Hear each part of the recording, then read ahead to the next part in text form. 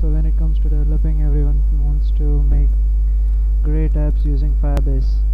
But when it's come to billing How about new?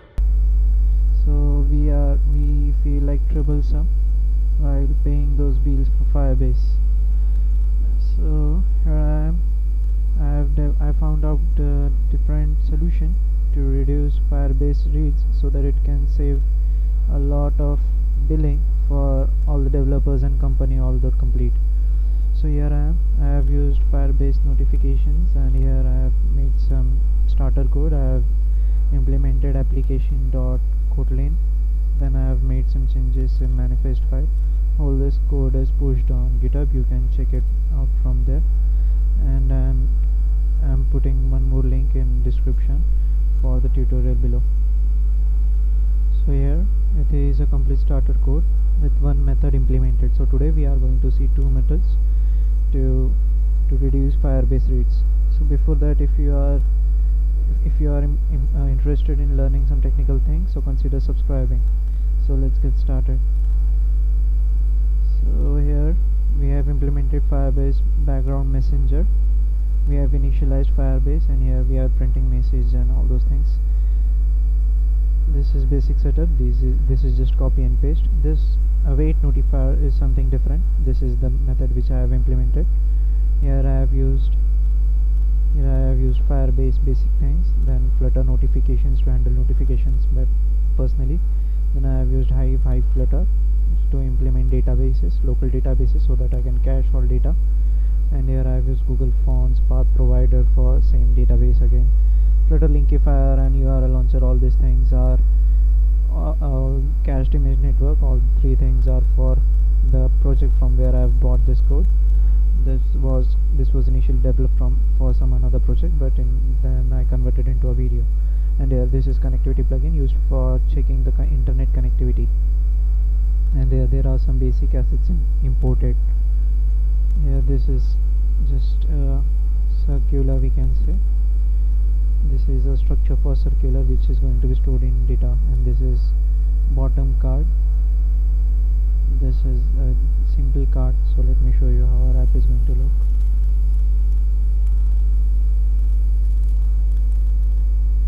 So this is how app, app is going to look. Here this is this is the bottom cards. This is whole structure of it. You can see the code later on. And this is the internet checker function okay so yeah.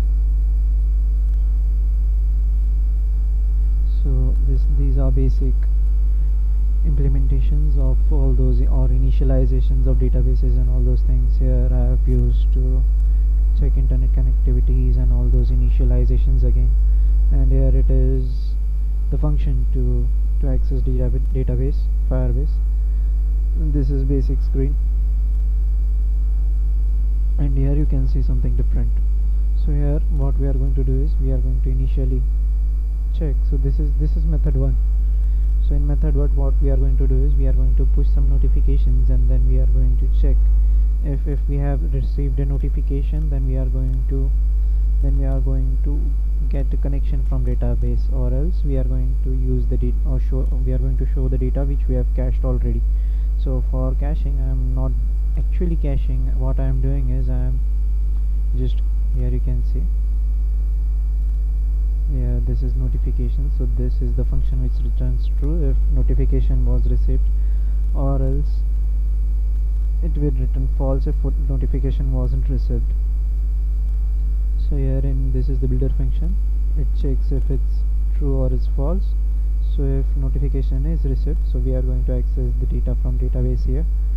And then what we are going to do is if if everything is solved here after waiting and all those things we are going to get the data we are going to put that into a list called cache and then I am going to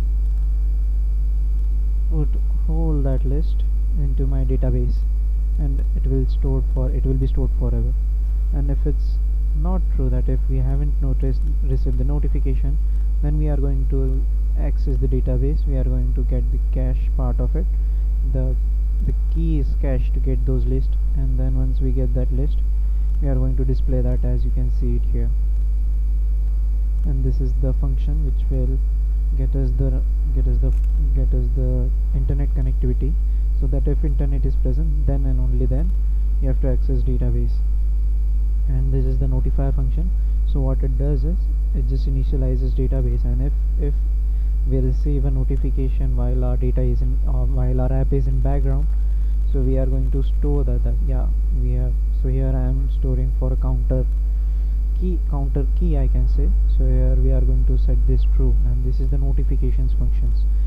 So what it's going to do is it is going to just send that if we have received something then we are going to uh, if we receive notification then we are going to return true. So what it does is uh, this is for initi initial condition when the app is first time installed.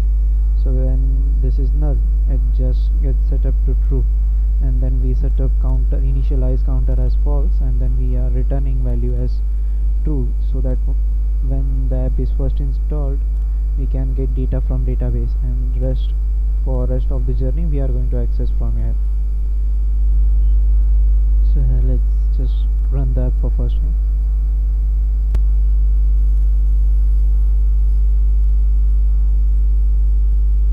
so now here you can see it's getting initialized so I think it should print true or false somewhere let me just check okay I think there's some issue with Android Studio yeah so now it's false because we haven't received any notification so what we are going to do is we are going to send a notification now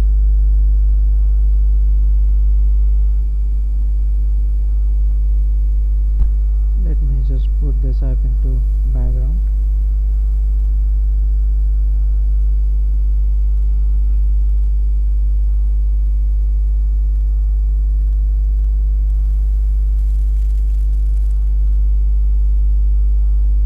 So now here you might receive two notifications one from the flutter fcm and one from the android or the custom notifications which we are going to use.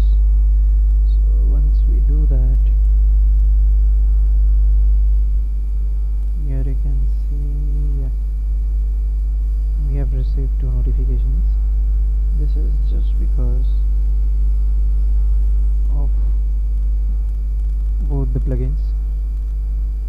Now once we initiate once we restart this app we can see it should print true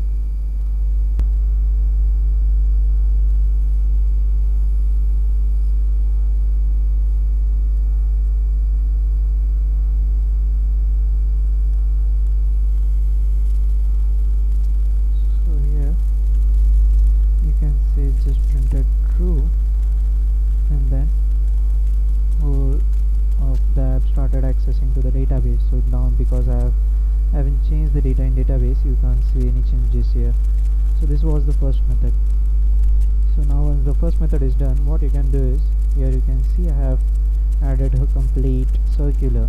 So instead of that if you have a simple if you have a simple simple architecture for notifications of our cards where you just take title or yeah let's see that yeah.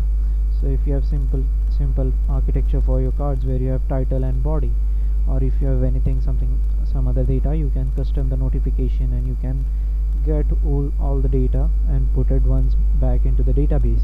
So you don't have to again and again refresh for everything. So once you do that once the once the user installs the app the first time he access this, accesses the database and then what will happen is once the once you send the notification the data from notification will be stored into the database and it will be shown. So one so from next from next time when the app app starts what it will does it, it will it will never ever access firebase database on it will never give a read. What it will do is it will continuously keep on showing the data which you have sent from all the notifications